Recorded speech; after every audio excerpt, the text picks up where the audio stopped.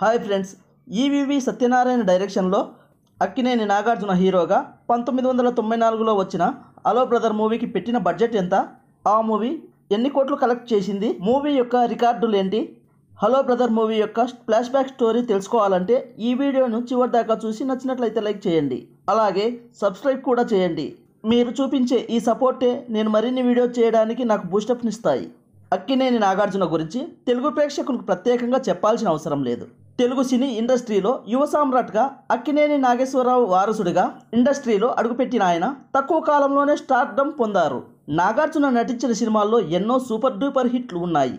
ఆయన హీరోగా నటించిన ఎన్నో విజయవంతమైన చిత్రాల్లో హలో బ్రదర్ కూడా ఒకటి. ఈ మూవీలో నాగార్జున రెండు విభిన్నమైన పాత్రలు చేసి ఆడియన్స్ని ఎంతగానో ఆకట్టుకున్నారు. నాగార్జున హీరోగా పంతొమ్మిది వందల తొంభై మూడులో వచ్చిన వారసుడు చిత్రం సూపర్ డూపర్ హిట్ అయ్యింది. ఈవివి సత్యనారాయణ ఈ చిత్రానికి దర్శకత్వం వహించారు. వారసుడు సినిమా విజయం సాధించడంతో నాగార్జున ఈవివి సత్యనారాయణతో ఇంకో మూవీ చేసేందుకు రెడీ అయ్యారు. అయితే ఈవివి సత్యనారాయణ ఈసారి సరికొత్త స్టోరీతో ఆడియన్స్ ముందుకు వెళ్ళాలని భావించారట. ఈ సందర్భంలోనే ఈవివి తనకు బాగా నచ్చినటువంటి హాలీవుడ్ సినిమా ట్విన్ డ్రాగన్ స్టోరీని నాగార్జునకు చెప్పారట. నాగార్జునకు కథ బాగా నచ్చడంతో వెంటనే ఈ సినిమాకు గ్రీన్ సిగ్నల్ ఇచ్చారట.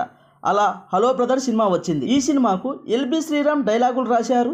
ఈ చిత్రానికి హీరోయిన్లుగా సౌందర్య రమ్యకృష్ణలను ఎంపిక చేశారు. ఏ ఆటంకాలు లేకుండా ఈ సినిమాను పూర్తి చేశారు. అయితే కవలల కాన్సెప్ట్తో అంతకుముందు చాలా చిత్రాలు వచ్చాయి.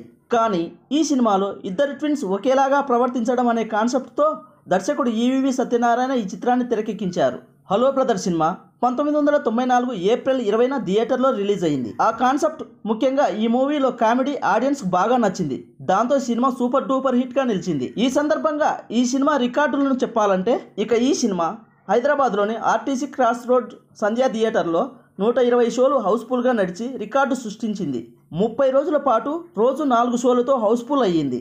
అలాగే ముప్పై కేంద్రాల్లో యాభై రోజులు ఇరవై కేంద్రాల్లో వంద రోజులు రన్ అయ్యి అప్పటి రికార్డులు తిరగరాసింది. ఇక ఈ సినిమాను అప్పట్లో రెండు కోట్ల యాభై లక్షల బడ్జెట్తో తీయగా పదహైదు కోట్ల ఇరవై ఐదు లక్షల గ్రాస్ను ఎనిమిది కోట్ల యాభై లక్షల షేర్ను కలెక్ట్ చేసి రికార్డు క్రియేట్ చేసింది. ఇక ఈ సినిమా అక్కినేని నాగార్జున కెరీర్లో ఒక మంచి సినిమాగా నిలుస్తుందని చెప్పవచ్చు. ఇదండి హలో బ్రదర్ మూవీ యొక్క ఫ్లాష్ బ్యాక్ స్టోరీ.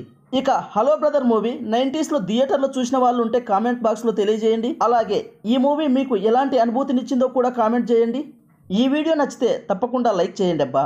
అలాగే సబ్స్క్రైబ్ చేసి బెల్ ఐకాన్ ఆన్లో ఉంచుకోండి. మరిన్ని వీడియోస్తో మేము ముందుకు వస్తాము.